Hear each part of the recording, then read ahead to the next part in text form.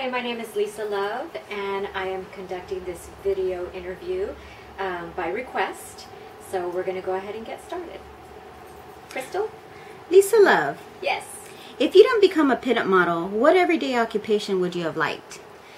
Well, um, being a pinup model is actually not my occupation. It's just a hobby that I have because I love the clothing. So it's not really something that I do for compensation. Um, I just do it for fun. So um, my occupation was I was uh, a career woman for a long time, and I worked full time taking care of my son. I was a single mother for a long time until I met my husband. And now that I met my husband, for the first time in my adult life, I'm able to stay home, which is so awesome. So um, I, for a living, I did um, what I loved, and that was um, secretarial work and then um, just did some modeling on the side. But now I'm at home and I help my husband care for his elderly parents, which are my in-laws. So that's really rewarding. And then modeling, I just kind of do on the side. I don't I don't take it too seriously, and don't do it too much. I just kind of do it when I when I'm in the mood. Do you get nervous before every photo shoot? I don't get nervous for photo shoots. I do get nervous if I'm going to speak in front of people. Like this is a perfect example of something that would make me nervous because videos and stuff I'm I'm pretty nervous. So I'm pretty nervous right now. but um, photo shoots, piece of cake because it's it's just between me and the photographer usually, and I just have a good time and I can be goofy and I can be myself without um, kind of feeling like people are watching me, which you know things like this people are watching me and like i'm wondering does my hair look okay? You know is my nose flaring up when i say certain words? Or things like that. I just i just i don't know. I get nervous. I'm nervous right now. Well, you're doing great. thank you. Who would you like to collaborate with? um well i would if it wasn't so intimidating i would love to model with bernie dexter i've always loved her very very much so um, i would love to be in, in the same film as bernie dexter but um, I think I'm I'm a little too nervous, and it would probably just be a train wreck. Um, or Mosh. I've been following Mosh lately, and I'm obsessed with her. So she's pretty amazing. But again, it would be one of those things where I, I'd probably be too nervous. But those are probably the two people that I love. Okay, and uh, what what advice would you give to people wanting to get into the scene? Um, well, um, that's kind of always been the same for me. I've always, um, I've always suggested that if people, if women do want to get into pinup modeling, to kind of understand why you want to do it. Um, for me, for example, um, I never really did it for uh, the fans or you know for people to know who I am or for magazine covers or you know it was it was never like that for me and I think that actually contributed to my success too because everything was kind of organic you know I never really pushed um, um, the name that I've created.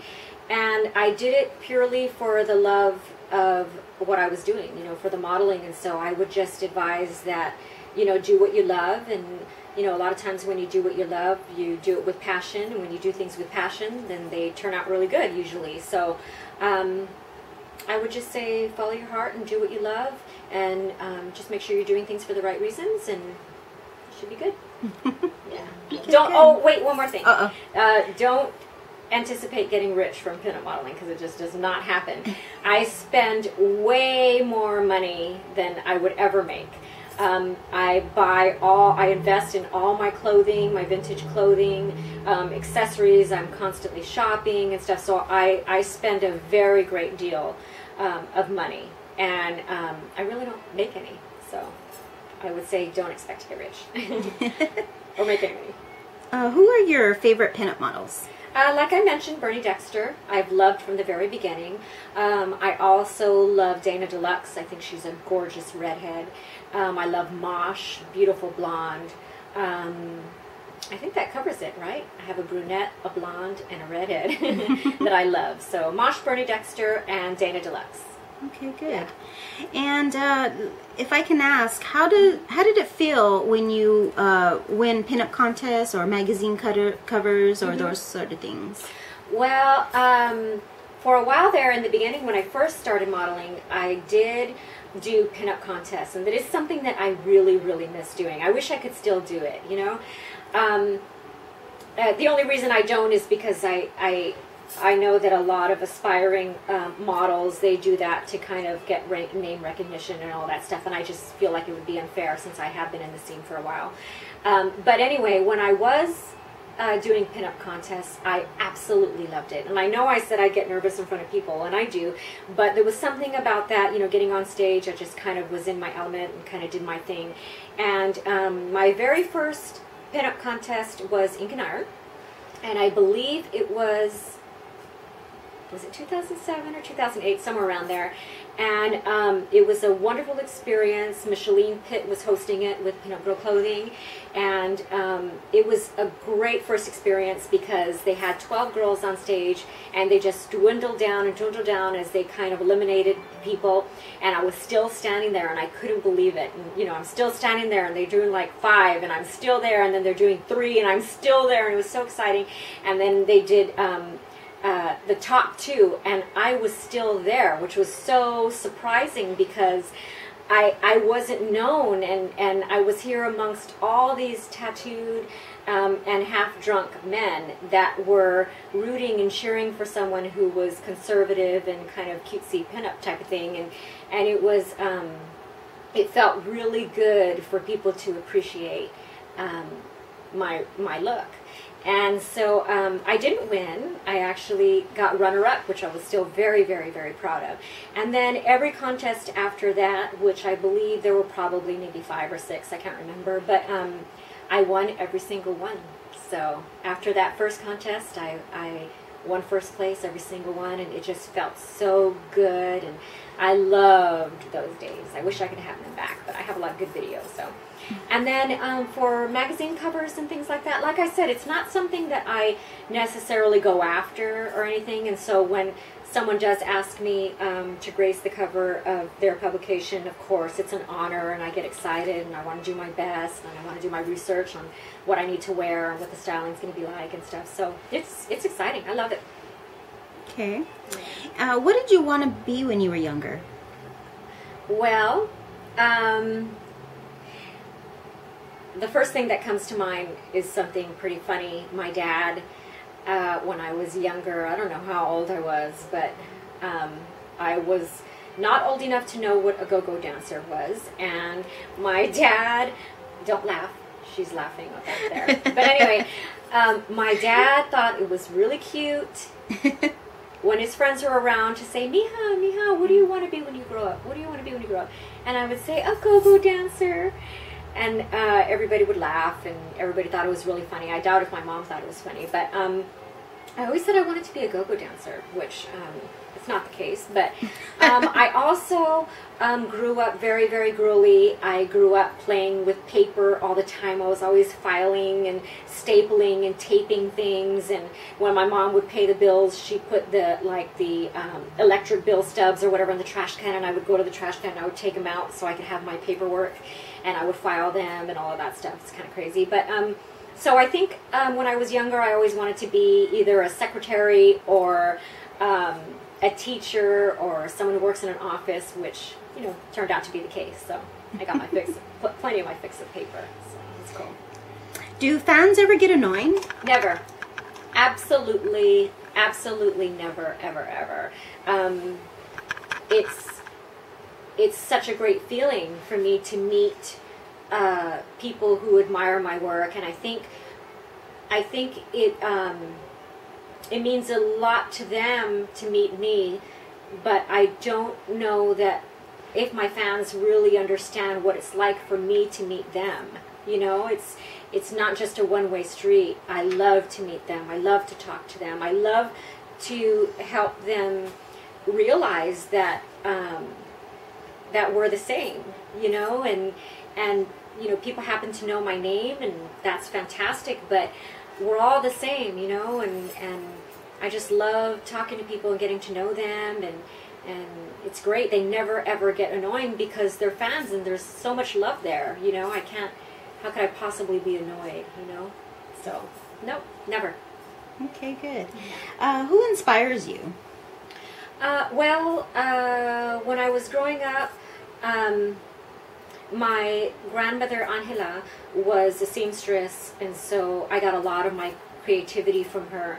And then um, my other grandmother, my nanny, was very sophisticated. She always had her jewelry. She always had her earrings on, her necklace, and, and everything. So that was pretty inspirational. And then um, my mom was also very classy, very sophisticated. You know, always dressed really nice. She was always, you know, real petite and stuff. And so, um, you know, I really looked up to her, and, and I can I, I see um, uh, her, you know, within me, and um, um, yeah. So I would say my grandparents, both my grandparents and my mom, were a huge influence on me. Okay. And I have to ask, uh, Yes. what shampoo do you use? Oh my goodness. Well, do you remember Gee, your hair smells terrific? Do you guys remember that? I'm probably dating myself. But anyway, I don't use that. But um, I use uh, a uh, olive oil shampoo and conditioner. It's green. It's like avocado green. Uh, do, you remember seeing it in my shower? And um, um, uh, it's sold by Design Line. Do you have it? Oh my god, I'm just bringing it out. I didn't expect this. but anyways, by Design Line and Hair Masters and Fantastic Sam's um, used to carry it, and it, it looks like this. It's just like this, and this is so it's olive oil shampoo for all hair types. Um, Regis Design Line, and then let me see the conditioner because that's what kind of reminds me of like avocado type thing. And then this is the um, this is the conditioner. See how it's like green, green. Just be careful if you do use this because um, my tub gets very, very slippery um, from this because it's just such a good conditioner. But um, this is what I use and I love it. they come in these big bottles. They don't come in these little ones, but they come in these really big bottles. And um, it's great, great shampoo. Okay. Yes. And I've seen your closet before. Uh, what's your favorite brand of or type of clothing? Um, I love 40s and 50s Mexican clothing. Um, anything with ruffles, um, anything with sequins, anything that's hand painted. I just um, I gravitate towards that. It I, it feels so right when I'm dressed. Um, uh, in my Mexican clothing attire. I just love it. And some of my favorite bands are brands, excuse me, are um, Maya de Mexico, um, Mocambo. I mean, there's so many, so many um, vintage designers that I, I absolutely adore. Um, this outfit here that I'm wearing is one of my favorites, but um, it didn't have a it didn't have a label. I don't think it's it's it's from Mexico. I don't think it was made in Mexico, but I think it's absolutely adorable. So anything with um, with ruffles too, I love. Um, as far as reproduction uh, vintage or vintage inspired clothing, um, I love Pinup Girl clothing. I love um, vintage suits by Mary. Um, you know, a lot of them, I think they're all doing, you know, such a great job. Um, under this skirt, as a matter of fact, I have a pinup girl clothing um, type of petticoat. It's not really a petticoat. I wish I could show you, but that would uh, require me to lift up my skirt. But um, it's this like canvas type um, petticoat, and it only goes about up to maybe a couple inches above my knee, and it's the best petticoat by Pinup Girl Clothing. So I just thought I'd throw that in there. It's perfect for circle skirts and for Mexican skirts. But anyway, yeah, so those are my favorites. Okay. And you mentioned your grandmother and you've mentioned your father. Uh, when and where did you grow up? Um, I was born in 1972. I know you guys are doing the math. And I was born in El Paso, Texas. So I am Texas born. And um, I was really back and forth between El Paso and Los Angeles for most of my life. Um, put it this way in elementary school, junior high school, and high school, I went to school in both El Paso and in Los Angeles, believe it or not. So elementary school, in El Paso, I went to Fannin, and then in Los Angeles, I went to Doris Place and Atwater Elementary School, and then junior high school, I went to Irving in LA, and then I went to Parkland Middle School in El Paso, and then high school, I went to Marshall for a few months, Marshall High School in Los Angeles, and then went back to El Paso and um, graduated from Andress High School. So I was back and forth between those two places. My dad lives in El Paso, and my mom lives in Los Angeles. So I was kind of back and forth. Wow. yeah. well, then how do you answer? Who did you live with? Who raised you? And how many yeah, family members do you have? yeah, I lived with the, I lived with both of them. I was raised by both of them, just in different states. Um, and as far as siblings, I have two older sisters, and um, so for a really long time, it was just the three of us, and I was the baby of us three girls. And then um, when I was 18, both of my parents um, got remarried, one in El Paso, one in Los Angeles, and they both are crazy and decided to have another child. So I have two older sisters, and there's me, and then I have a uh, 18 year difference. Uh, we're 18 years apart. My little sister Janae, who's 20 something now, but and then I have a little a little brother also, who's my son's age. So it's just crazy. So I have what does that make it? I have three sisters and one brother. yeah. Okay. Uh, favorite TV shows, uh, movies, music? Uh, music, I love The Wise Guys. I love Pachuco Jose. I love um, Vicky Tafoya. I love uh, Nikki Hill. Um, Santos de Los Angeles. Ozo Motley. Um, it's all over the place. All over the place. And then uh, movies. I love Dumb and Dumber. I love Elf. I love all those funny comedies. I also love Grease. I love The Notebook. I love um, what is that one that I've been watching a lot lately that I love so much? It's with Adam Sandler, Jennifer Aniston. Oh, just Just go, Go with, With it. It. Oh my god, so funny, so good. I can watch it over and over and over and over and over and over and over. So I love those type of movies. And then as far as TV shows, um, I like the um, King of Queens, and uh, I've been really liking Mario Lopez's new show, the one-on-one, uh, many interviews. Um, It's a talk show. yeah, yeah, it's just a one-on-one talk show. It's really good. Um, what else do I like on TV? I love watching Dodger baseball. uh, that's about it. Yeah, I love Oprah. Sorry, I love Oprah. Are Dr. you- Phil. Are you planning to ever write a book about your life? No, no, no. I I plan on just you know when I'm gone one day. Um, I plan for people just to look through my images, and I think that'll tell a lot about my life. Um, I do not plan on writing a book. Um, my husband, on the other hand, I think he should write a book. He's far more interesting. so we'll see. How much do you like to show of your private life to your fans? Uh, I'm pretty much an open book. I think I'm pretty. Um, I'm not very private. You know, I kind of um, put my personal life out there a lot. I'm very proud of my son. I'm very proud of my husband. Excuse me, my husband. Um, so uh, I don't hide that. I'm pretty much an open book. Okay. And how does your relationship and your career mix? Oh, great, great. My um, I met my husband in the scene, so it worked out really good. He's a, um, a very talented Chicano Pachuco artist, and um, and he you know respects my modeling and encourages my modeling, and he uses a lot of my material for his own art. So it works really, really, really, really good. We both love cars and love music, and so it works real good. Okay, good. I was Yeah. going to ask you if you were dating or if you were single, but you I'm married. You, you may you answered I'm that. married. Yes. nice. Okay. Do you have children? Yes. Well, you do. I do. I do. I have a son. He's um, he'll be 23 years old this year and next month, huh? No, wait, November, November 1st, yeah. So his birthday's coming up. He'll be 23, and um, he's wonderful.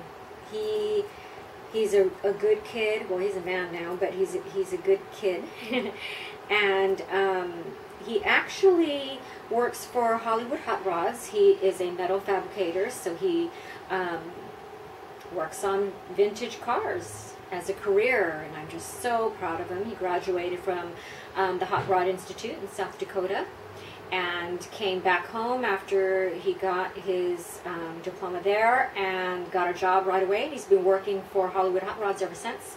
And Hollywood Hot Rods is a great place for him to be. You know, it's a it's a, a well-known, prestigious uh, um, shop. You know, it's not just a, a, corner shop. It's it's pretty well known and a lot of um, publicity and things like that. As a matter of fact, he's coming out in a magazine, which is really exciting, really soon. So um, yeah, I'm I'm very proud of him. Okay, Yeah. good. Yeah. Okay, and lastly, Yes. how is it to know that younger girls and women look up to you?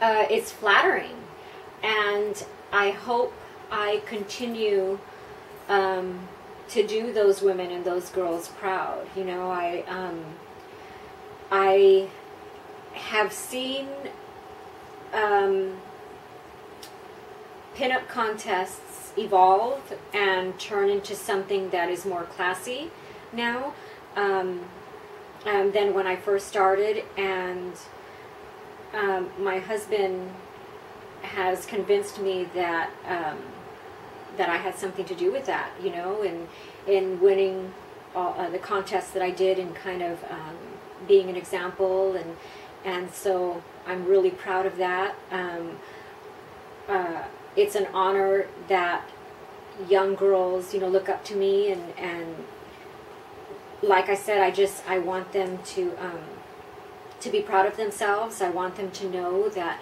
class prevails. Um, you know, it's something to be really proud of. You don't have to show everything, you know, in order to be known or to get magazine covers or to do all that. I, I think there's a place for that, and I appreciate that too, you know, when I see other um, models and stuff um, dressing in awesome two piece, bathing suits and lingerie and stuff. I mean, I, I'm a fan of theirs. Um, however, um, I feel like I am displaying a different image. Um, and so it's flattering, and I, I hope to continue, and I hope to even help the um, aspiring models that are coming into the scene, either by promoting what they're doing or um, supporting their work or answering questions that they may have and stuff. I, I kind of see that I'm, um, um, will probably stop modeling sooner than later. You know, I, um, I kind of want to leave while I'm still pretty popular, you know. Uh, I want to leave before I get too much older, and um, not leave, but I just kind of want to evolve into something else, which I would imagine would be um, promoting and maybe styling other girls and stuff, and kind of helping the new generation um, be seen. So, um, what was the question? I got off How is it to know younger girls and women look yeah, up to okay, yeah. So I was still on track. I was still I was still on track. Yeah. So um, it's wonderful, and I plan to still be a part of their lives and their journey to. So you'll still you know, be involved. Absolutely, absolutely. Even after I stop modeling, I I plan to still definitely be involved in some way or another. Like I said, whether it be um, maybe um, designing suits or you know, kind of helping them put their ensembles together and things like that. So yeah, the plan on staying sticking around. It's great. Hmm It's great. Very so is that it?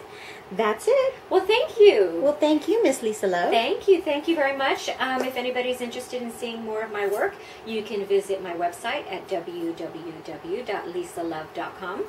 And from there, you can get a link to my Instagram, Twitter, Pinterest, Etsy, um, all that good stuff. So I hope to see you guys around. And also, my husband's website, I got to plug that too, um, is fleetlinefineart.com. So check out his work, it's pretty amazing. So we'll talk to you soon. Thank you very much. Bye bye.